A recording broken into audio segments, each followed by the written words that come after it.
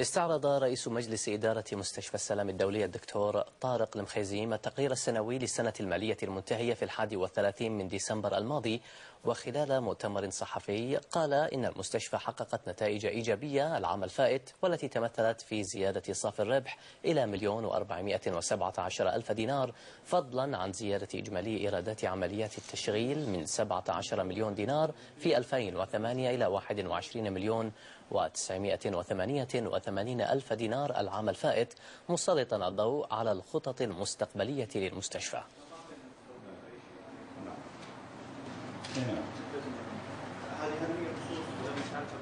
وهناك بعض المشاريع الاستثمارية الجاري تنفيذها. أولا جاري العمل على استكمال وحدة القسطرة للقلب وجراحة القلب لعام 2010 ثانيا زيادة الطاقة الاستيعابية لوحدة العناية المركزة. ثالثا جاري العمل على تحديث الديكور الداخلي للصيدلية الحالية لتناسب لتتناسب مع عدد المراجعين الحالي الحالي رابعا جاري العمل على تحديث قسم الأمراض الجلدية بمبنى المسينة التابع للشركة.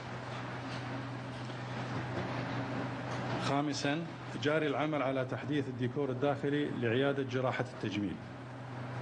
سادسا إن مستشفى السلام يسعى إلى نيل شهادة الاعتماد الكندي الدولي وذلك من خلال تحقيق وتنفيذ جميع الإجراءات اللازمة لتحسين نوعية الخدمة المقدمة لعملاء